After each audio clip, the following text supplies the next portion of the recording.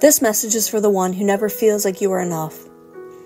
You compare yourself with others and always feel like you come up short. You hold yourself at such a high standard that the person looking back at you in the mirror is so full of insecurities that they just can't measure up. You feel like you're not pretty enough or smart enough. Maybe you're not social enough or liked enough. You're not capable or fashionable enough. You aren't funny enough, wealthy enough, educated enough, successful enough, or even dateable enough.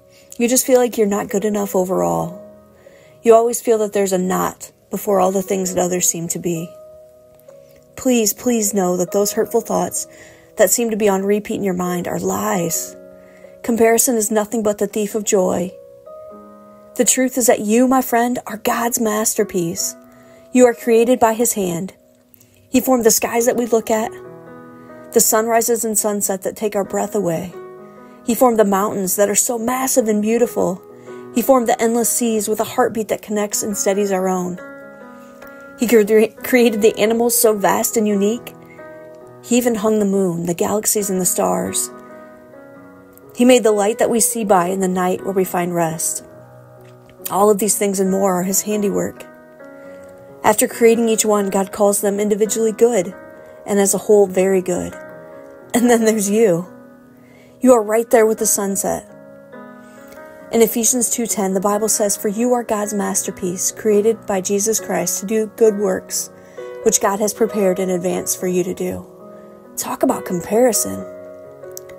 So let's flip that negative script that plays over in your mind. You are the one in that long list of things that God created that is a different kind of special. He calls you his masterpiece. That's huge. That's epic. That's life altering if you let it. I'm an artist and I have paintings and artwork that I feel are eh, art that's okay, art that I feel is pretty good. And then there's a few particular pieces that I feel like God has really inspired me to paint. Out of all of my work, if I was to label them, I would say that those are my master- masterpieces. They stand far above all the others because of the rich collaboration with the Holy Spirit. I'm proud of them, of the way that God used my hands to create them in order to minister to others for Him. You see, you are this to God. You are His masterpiece.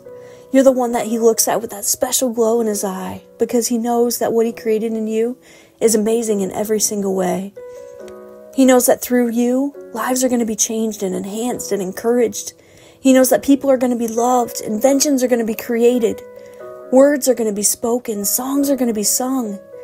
And all those things that He put in you in advance are going to come to pass to change the world for Him. Every detail of your makeup, every quirk, every little gift isn't without plan and purpose to God.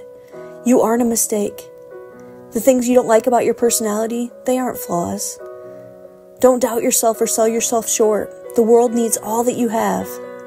Be it shy or outgoing, verbal or nonverbal, whether you're serious or more of a jokester, you're plump or skinny, the list could go on forever. Know that it doesn't get lost on God. God made you as you are.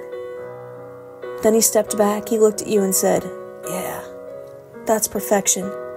Maybe he even dropped the mic too. I don't know. But there's no one else like you. You don't have to fit into the world's molds or be like someone else. Not one piece of true art is exactly like another. You are not a copy. You are the original, and that's your superpower. So own that deep in your soul. Be you. Be free to be. And once you grasp how God sees you, your perspective in the mirror will change. The opinions of others won't matter because you'll start to realize that you're one of a kind. You're in the art collection of the King. You're marked by the fingerprint and signature of the Creator of it all. You are His masterpiece. So next time you look in the mirror, choose to own it. Instead of doubting yourself this time, say, I am a masterpiece. And then watch how your reflection starts to change too.